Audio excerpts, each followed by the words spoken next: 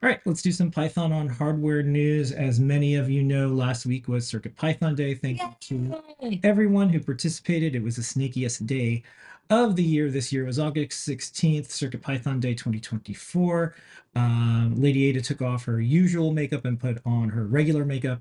Um, and uh, we did some talks throughout the day. All the videos are posted. These are on YouTube. You can see things like Circuit Python, Game Jam with Tim, Deep Dive with Scott, John Park's Workshop, the chat that Lady Ada did, Circuit Python Project Highlights, Bootloader Podcast, Maker Chat, Guy DuPont, Circuit Python Coffee Hour with Dan and Scott, and 3D Hangouts Circuit Python Day. And that brings me to a video that we did not show last week. So enjoy the video that Noah and Pedro did all about the countdown timer. You can use this for other stuff too. So this is just Not just Circuit Python. not just Circuit Python. But you know, it is in a year from now. You can start now. good start now. Circuit Python Day, we code. You can build an LED sign to count down the days to CircuitPython Day. This year, CircuitPython Day falls on August 16th, and we wanted to create a special countdown sign using NeoPixel LEDs.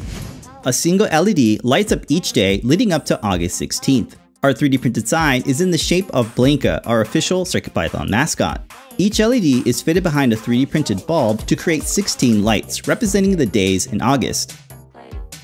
This is an IoT project powered by the QtPy E ESP32S2. This IoT dev board features the E ESP32S2 chip from Espressif. It's got 4MB of flash, onboard STEMMA QT, and USB-C. The CircuitPython code uses Adafruit I.O. as a time server and sets up the timed event to light up all of the NeoPixel LEDs.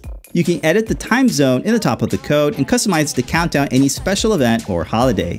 To get the code, files, and tutorial for building this project, visit the guide at learn.adafruit.com. We code and play the open source way. I really like how Blinka is shaped like the Ouroboros symbol to represent the cycle of CircuitPython development. We hope this inspires you to celebrate CircuitPython Day with us, and be sure to check out all the live streams and content on August 16th.